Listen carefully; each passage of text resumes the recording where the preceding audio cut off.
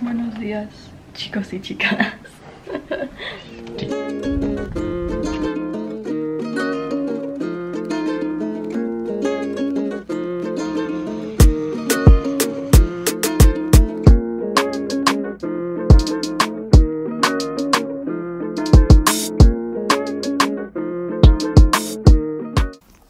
First stop on this trip was the town of Corralejo, located on the northern side of Fuerteventura. What we love the most about this town is how lively it is. It's full of shops, restaurants, and bars by the ocean, and you can even see Los Lobos Island in the distance.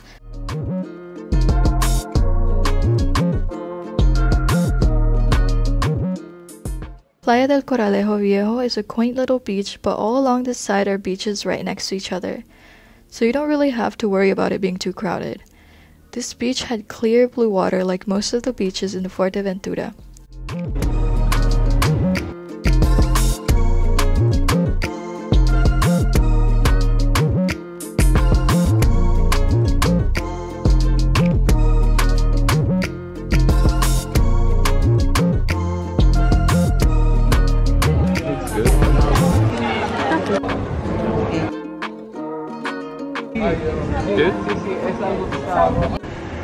Just a short drive away from the main center of Corralejo is one of the most beautiful beaches that you think would only exist in the Caribbean or in the tropical islands of Hawaii. Playa del Moro is great for beginner surfers due to the smaller waves that land on this shore, and you might even see some people taking lessons while you're there.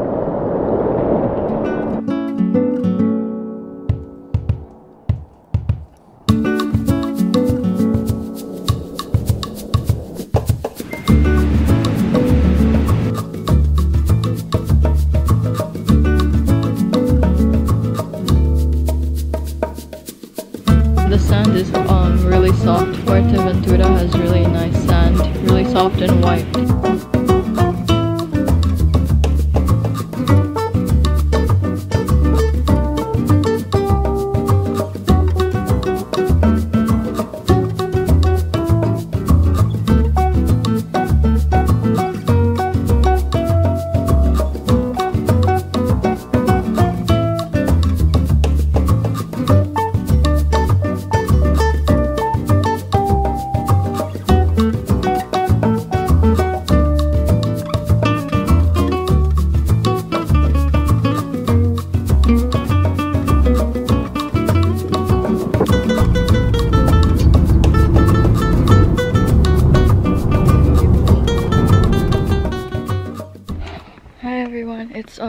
Second day here in Fuerteventura. But today we're gonna go see another beach that we'll show you guys. They have like so, so many beaches here that you probably can't cover it in only five days. I will just show you guys the best ones that I think are really nice.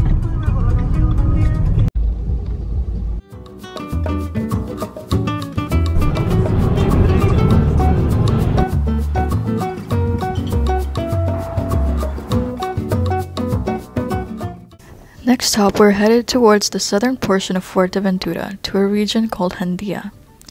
This area reminds me much more of a beach town and is popular with tourists as it has Playa del Jandía, which has fine white sand, clear waters, and a vast coastline.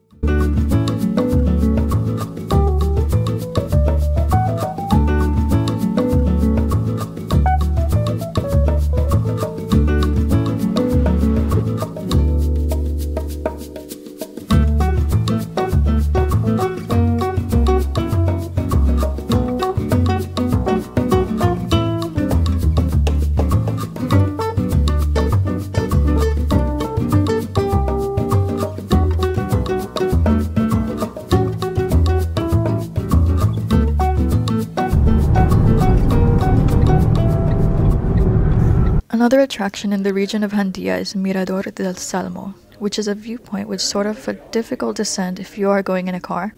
So do be careful as the road towards the parking area is not paved. However, after a short descent, you are met with, I think, one of the coolest sand dunes in the area because it looks huge from the bottom but is actually pretty easily climbable. And on top, you see a pretty majestic view of Playa del Salmo, which is the beach down below where many people kite surf as well.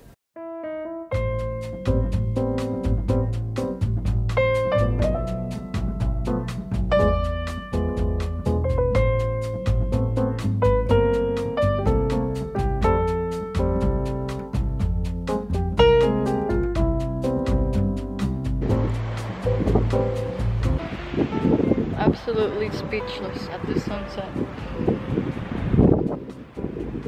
It's always islands that have the best sunsets.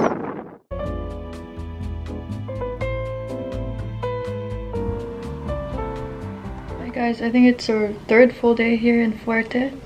It's been kind of wild, but yesterday was really pretty as you guys saw. Those sand dunes, the beaches, and yeah. And people say it's not developed here, but it's pretty developed. They have shops like Mango, H&M, Zara, and McDonald's, Burger King. Like, it's not the most developed, but it's pretty comprehensive with the shops and everything. This region on the northwestern tip of Fuerteventura is most famous for its untouched wild beaches that are popular among surfers who come from all over Europe. It is less populated than Jandia or Corralejo, but still boasts some of the best nature and landscapes that make Fuerteventura so special. You can still spend a chill day here though at the beach and enjoy calm waters, as they have Playa del Cotillo, which is a lagoon with clear turquoise water and fine white sand, a huge contrast from the wild beaches not too far from here.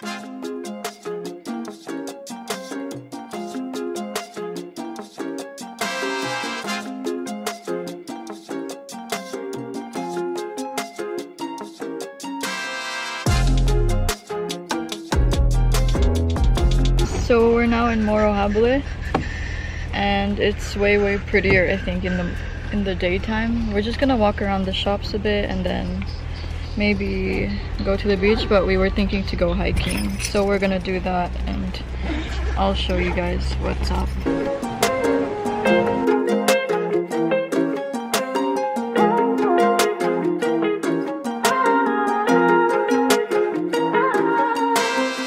Yeah it's quite hot even though it's only it's already 4:40 p.m. Yeah, yeah, and they also have a viewing point here which we might go and check out real quick and we already saw like two wild goats.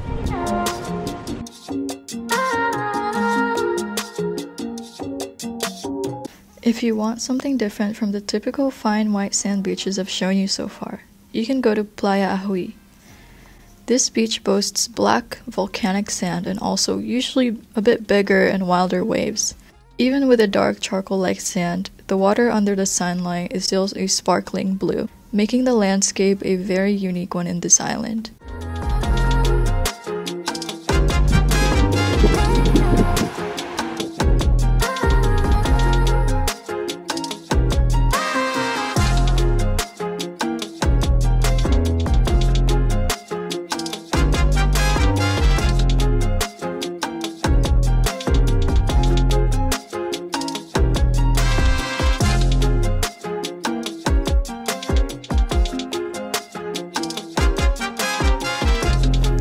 Next to the beach is a small viewpoint where you can also see many mountain goats and chipmunks, which is the wildlife typical of this island.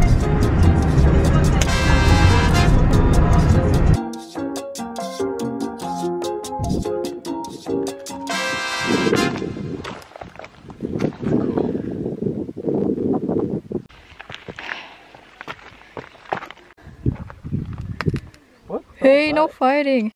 If you want a break from the beaches, you can drive a short distance from Ajuy to this hiking trail, which leads you to one of the most stunning and unique views that you will see on this island.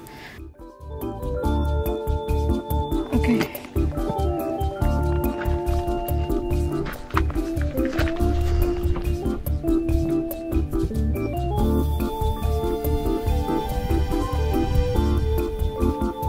I don't see a here.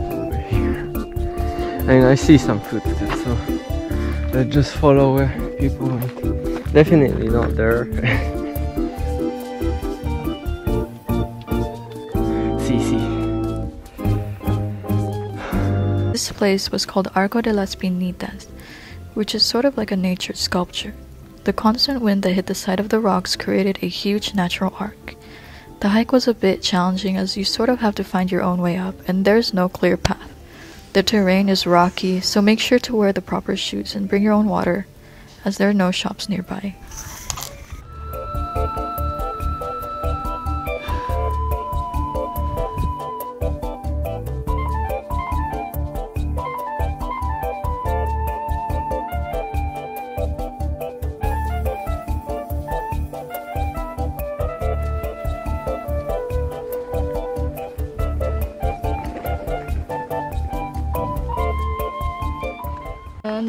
Says it on the reviews, but half of the time you actually have to use both your hands to sort of stabilize yourself when you climb up.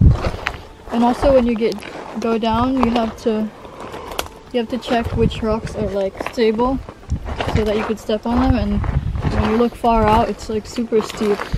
So you just have to do it like one step at a time and focus. But if you're like an experienced hiker, it's probably easier for you since I don't hike that much, it was quite difficult. Probably like 7 out of 10 difficulty.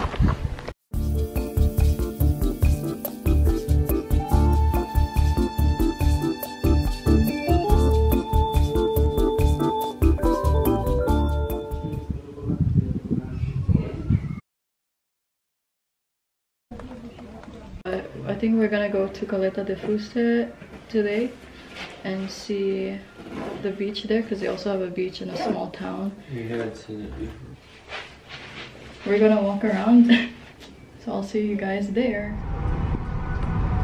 Caleta de Fuste is a resort town on the mid-eastern coast of the island. They have many golf courses as well as a nice cove-protected beach, which makes the beach ideal for swimming. And it also has right next to it a small dock and port. We get to Puerto del Rosario, which is the capital of Fuerteventura.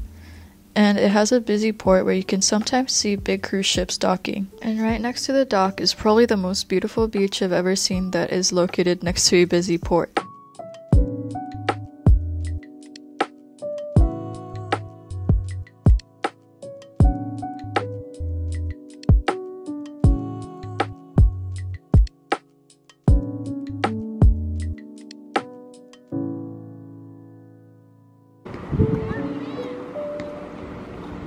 Hug.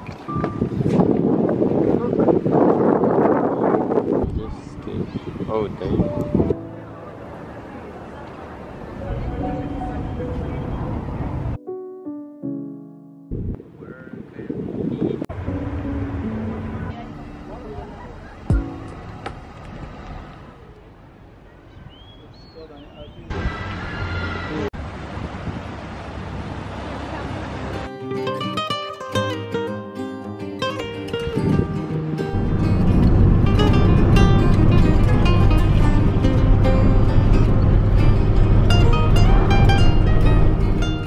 Grandes Playas de Corralejo is just that the great beaches of Corralejo. This beach seems to be never ending. The sand is soft and the sea is turquoise, with views out to Lobos and Lanzarote. Keep in mind though that sometimes a stronger wind brings in larger waves.